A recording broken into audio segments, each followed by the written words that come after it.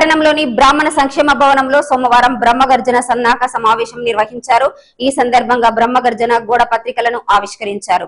ఈ నెల తొమ్మిదిన హైదరాబాద్లో సరూర్ నగర్లో జరిగే బ్రహ్మగర్జన సభకు ప్రతి బ్రాహ్మణ కుటుంబం తరలి రావాలని కోరారు. ఈ సమావేశంలో టిబిఎస్ఎస్ఎస్ రాష్ట్ర ఉపాధ్యక్షులు వైద్య ప్రభాకర్ శర్మ కోశాధికారులు సముద్రాల విజయ సారథి శశికాంత్ కిషన్ రావు వల్లూరి సంపత్ శర్మ పెండ్యాల మహేష్ నెదునూరి ప్రభాకర్ రావు తాడూరి లక్ష్మణ్ రావు మాచిరాజు లక్ష్మణమూర్తి వల్లూరి సత్యనారాయణ శర్మ తనుగుల వెంకటేశ్వర్లు ఈశ్వర ప్రసాద్ పెండ్యాల శ్రీనివాస్ సురేష్ చందర్ కొండపాక శ్రీనివాస్ కల్వకోట శేషగిరి పురుషోత్తం రవీందర్ రావు తదితరులు